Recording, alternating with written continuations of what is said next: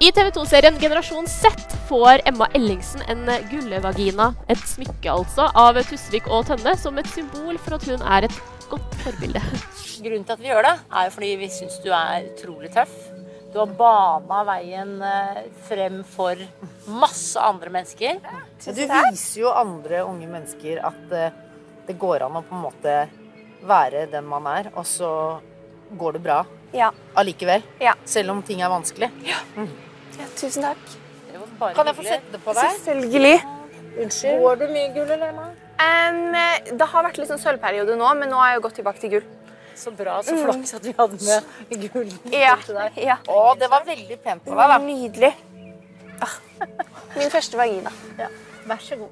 Ja, Emma Ellingsen har en veldig tydelig stemme og er et slags ansikt da, for personer som er født i feil kropp. Ja, det er riktig. Og hun er jo nå fylt 18 år og kan endelig få gjennomført en skjønnsoperasjon. Og det har hun også vært veldig åpen om. Det eneste jeg gleder meg til med å bli 18, var at uh, nå kan jeg liksom ta operasjon. Det er lang venteliste. Det kan ta opptil to år, sier de. Altså, jeg får ikke vite noe sånn Eller jeg har ikke fått noe dato, så jeg har, vet ikke hvor i ventelista jeg ligger heller. Operasjonen tar åtte timer, tror jeg. Så det er jo Det er lenger enn min hjerneoperasjon, altså. Ja.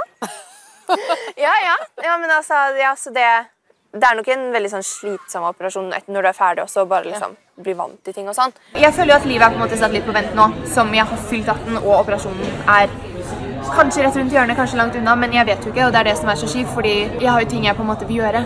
Eh, reise og sånne type ting, men det er jo litt vanskelig hvis du på en måte reiser et sted og så får du vite at kom i morgen.